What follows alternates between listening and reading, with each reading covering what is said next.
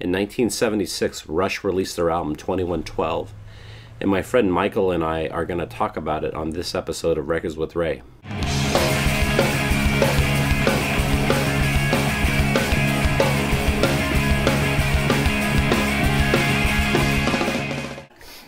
So let's talk about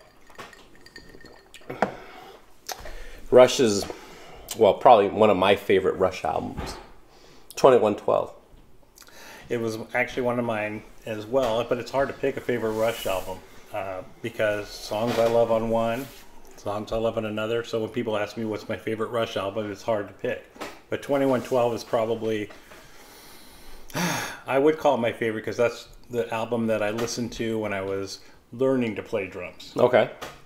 And I had a drum instructor who he was a great jazz drummer. He, jazz drummer. He was Yeah. a great one. Uh, but at the same time, when he's teaching you to play and you're playing almost marching band stuff, you know, one, two, three, four, one, two, Yeah. three, you know, and so we're just going through the motions. But I had some really good friends. Uh, but my good friend Mark, he would introduce me to albums, uh, and one of them was Rush. Yeah.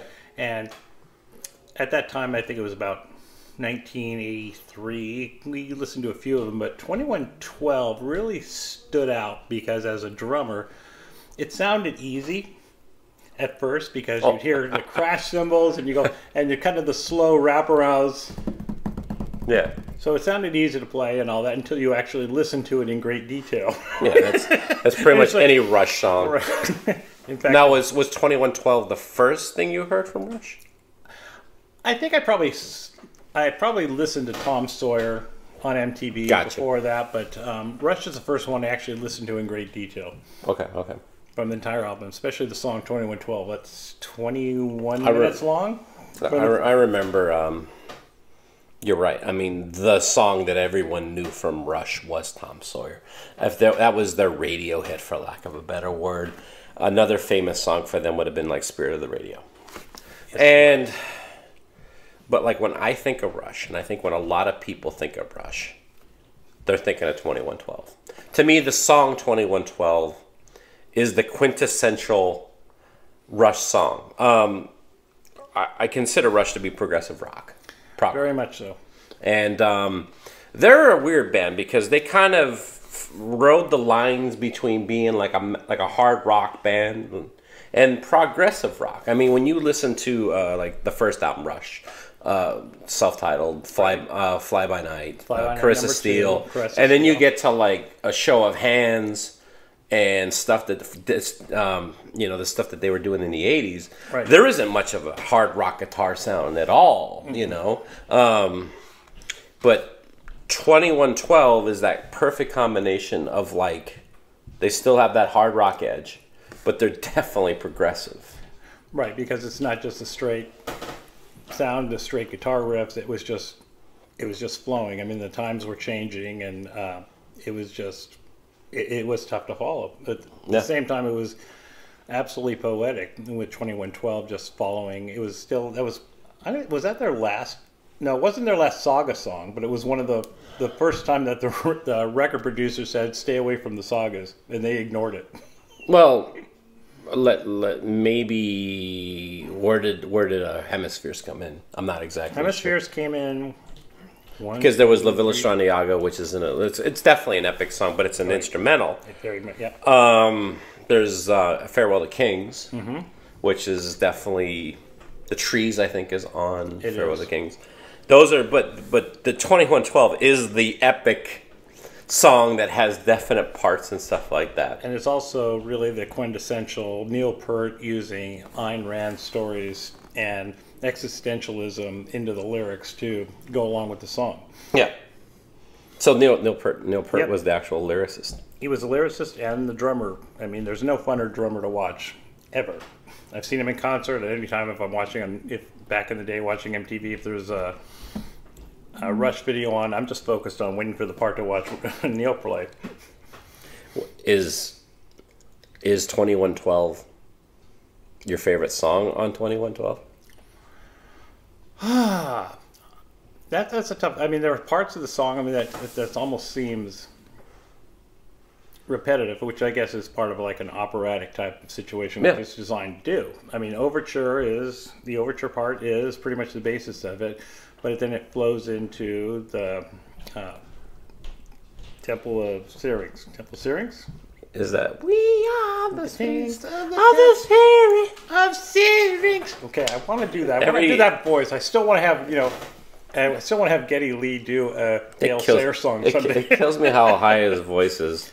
oh, I love it.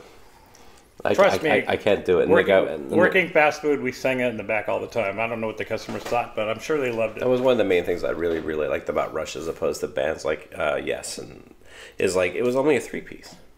Emerson Lake and Park Emerson Lake and Park Palmer was a three piece band, but one guy one of the guys was a keyboard player, and like you know I think Greg Lake was like bass and then drums, but like Rush was you know Eric Lifeson guitar, Mhm, yep. Geddy Lee bass, Yep. and um, Neil Peart. Peart, yeah.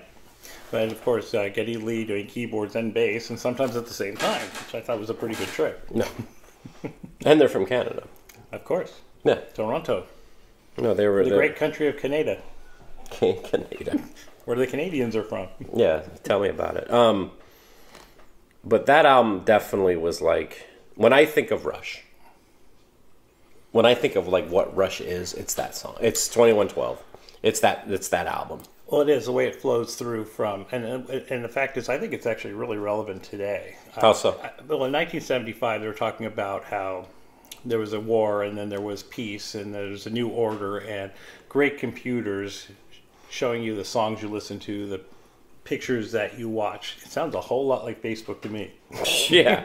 So what? Hold on, Michael. So what you're saying is Rush and Rush predicted Facebook. Almost. I mean, it's a very. I mean, it's besides you know Ant, Ayn Rand's anthem, and it kind of flows though the ni- 1984 flow, but it really is. If you don't know any better, and you're fed, you know what reality is, kind of like what Facebook does. You don't know any better, so it's a little. I mean, it's a little prophetic. Um, Yeah. So.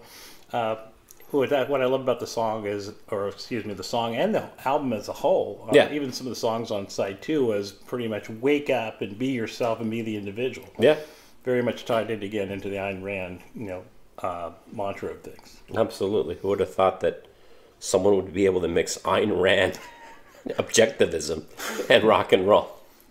Well, that answers Rush for twenty one twelve, And it flows. and it flows. And you can dance to it. Hold on. Slow down.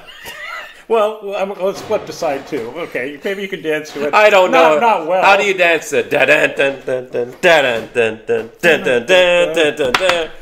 No, I want to see someone dance to 2112. I'll throw down money. I'll, I'll, I'll throw down money to go to a strip club to see some stripper dance to 2112 in its entirety. I'll bet you By the end of the show, they're going to be, all right. A lot of people don't realize that 2112 actually has a second side. It does. So let's talk about that side. Well, there's first of all, it starts off with um, Road to Bank. Uh, we're on the Trail to Bangkok. Trail to Bangkok. Yeah. The thing about that song though is like in that song they actually they do the do do do Train do to do do Bangkok. do do. We're on the train to Bangkok. It's like come on.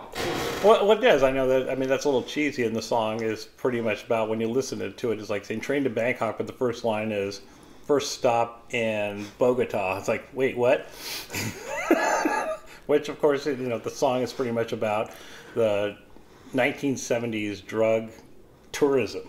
No, really? Oh yeah, yeah. So it starts out and it talks about we're burning the midnight oil, and and so that's an interesting song. But there's um, something for nothing, which is one of the ones I really like. Is as a teenager too, it kind of wakes you up because as a teenager says, you know, well, I wish I can do this. I wish I did this. I wish I was in this. Well, someone actually very smart to me once said you can wish in one hand and shit in the other and see which one gets fulfilled first. And that's kind of the base of that song is get up, follow your dreams, Is and the- do something. Is that the lyrics in the song? It's in the liner notes. Or, uh, or uh, not. Or is that how Neil Peart like like like sold the song to the guys? Hey guys, well here's my new song. What's this one called, Neil? Something for nothing. Well, what's it about? Well, you know, there's a guy sold me like you can shit in one hand and dream in the other. See which one gets fulfilled first. See which one gets Quite, quite artistic if you think about it. I have a feeling that that conversation didn't happen. Uh, no, well, it might have. Is the is the song Twilight Zone literally about the Twilight Zone? It actually is because Is it? Um, Rod, uh, let's see, Rod Serling had actually died at that time, and they were huge Twilight Zone fans. And quite frankly, they wrote the song and they needed some filler. They needed some filler material, so they wrote it. So it was based upon two Twilight Zone episodes that they mixed into the song. wow. Um, and, and, I, and it's a great song to listen to. And in fact, as the time actually changes, you know, like you know, halfway through, so it goes from you know quick to slow, and you know back again. Let's see. So the other song on there was oh, huh? Sure, there was another one there. I can't remember what it was now. I guess it wasn't that good of a song. Oh, no, it was not that good of a song. That was the uh, Oh. Tears, Tears song. Oh, what tears touch me deeply. And There, was, there's a guy out there thinking that's my favorite song on 2112, and you don't even know what it is. the first Rush ballad. And the funny thing is, is one of the reviews I read about it, which is the funniest thing I've ever read on an album, was like saying, "What did I learn on that song? I learned how to pick up the needle on the album and move it half an inch forwards to get past that song." And actually, it's not a bad song. It's just slow. It's like, and I'm thinking, what is this about? It's like, well, it sounds like he's breaking up with her, but he's being philosophical. No, no, you're, you're thinking like, oh, oh, there's, there's a song about a about a guy and his girl breaking up. It's like, no, no, no, no, that's too simple for Neil. So I'm gonna make, make it sound Maybe like if you read the lyrics backward, it gives like a secret message or something. your stuff is in the alley.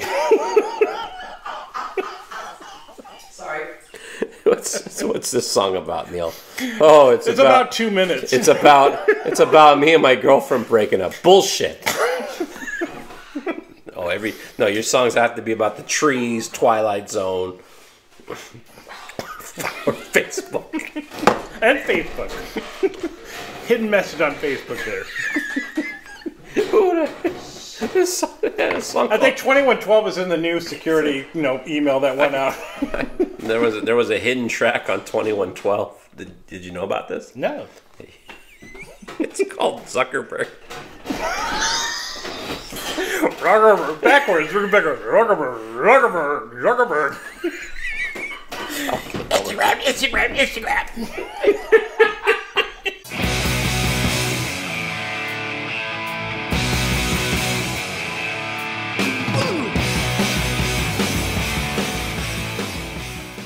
Anyway, so the idea is it was released on April 1st, 1976, and it was released on three mediums. It was released in LP, Yeah. cassette, and 8 track.